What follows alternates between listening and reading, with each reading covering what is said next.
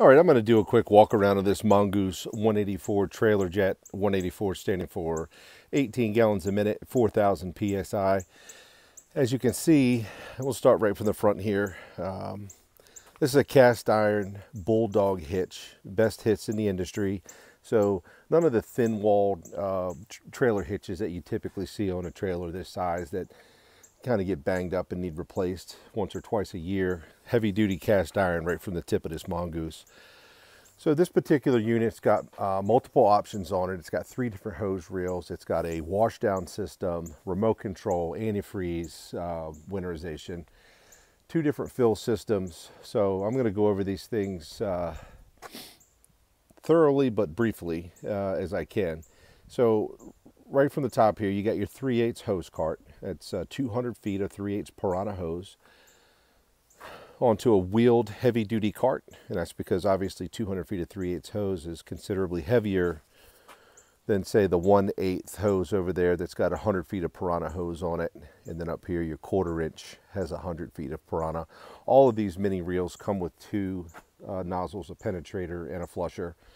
All of them are set up the same. Your half inch jetter hose would attach to the adapter which has a gauge on it. That way you can take these directly to your clean out and do your jetting right from there without having to have three, four, five hundred feet of 3 eighths, eighth inch or quarter inch hose uh, connected to your jetter, which greatly reduces um, your pressure drop. So 500 feet of eighth inch hose literally um, causes you to lose uh, thousands of PSI, where going through 500 feet of half inch hose and then through just 100 foot of the small hose uh, greatly increases your, your uh, performance at the nozzle.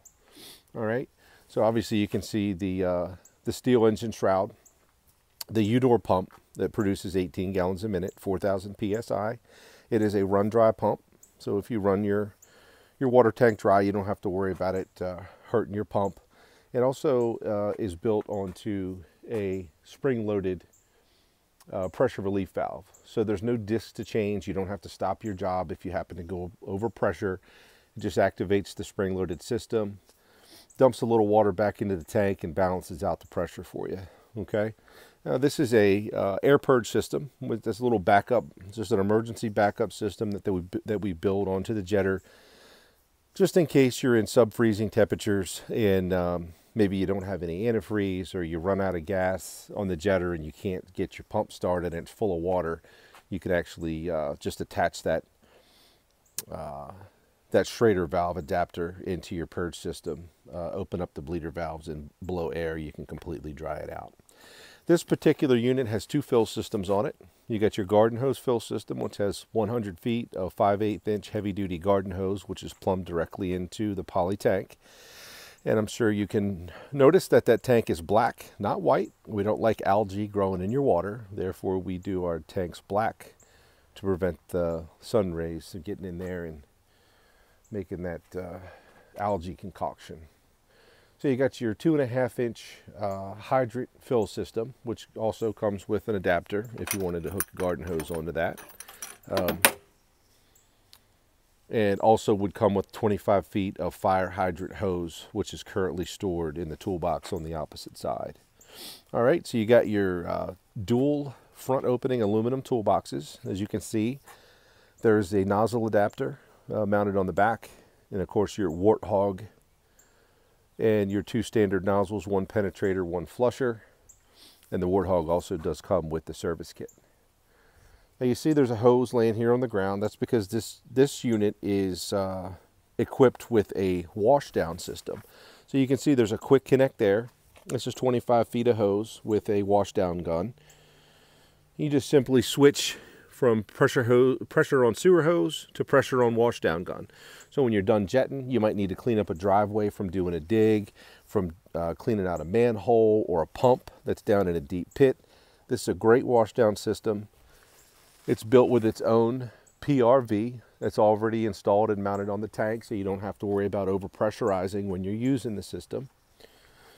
Also, this jetter can be controlled by the NEMA 4 control panel, which is NEMA 4 meaning it's completely weatherproof, okay?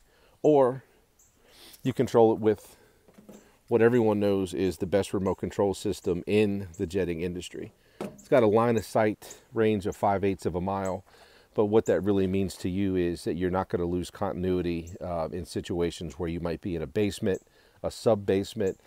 I know of a situation where a technician uh, has his jetter completely shut and locked inside of a truck and goes two stories under the street and doesn't lose connection with his remote control. And um, there's not a lot of jetters out there that can make that claim. So as you can see, the hose reel turns easily 90 degrees both directions and it'll also lock in place uh, in every two inch increment. very flow valve, which is built into every Mongoose jetter, uh, that allows you to control the flow. So if you're going to hook your half inch hose up to say a 3 eighths or an eighth or a quarter inch smaller reel, you can adjust the flow so you're getting maximum flow at your 4000 psi without overpressurizing. It's a beautiful thing. So you're you're actually maximizing your pressure uh, instead of just trying to jam as much water as possible through a hose that's too small to handle it. Okay, you've got digital controls here. That's for your dashboard. That's for your engine reading, for um, diagnosing, and for oil pressure, engine hours, RPMs. Um, and like I said before, everything on this jet is controllable at the control panel. You also have a variable speed, uh, which is for your hydraulic, um, the hydraulic control for your hose reel. So you, you can go as slow as you want and as fast as you want, and it's got uh, a, a, great range. So you want to go out fast, come back nice and slow to do a good job on a cleaning, no problem just set that variable speed and um, let the jetter do the rest of the work. And one last thing I want to point out that gets kind of overlooked a lot of times when you're looking at which jetter to choose, I want you to look at the thickness of this one piece hose reel.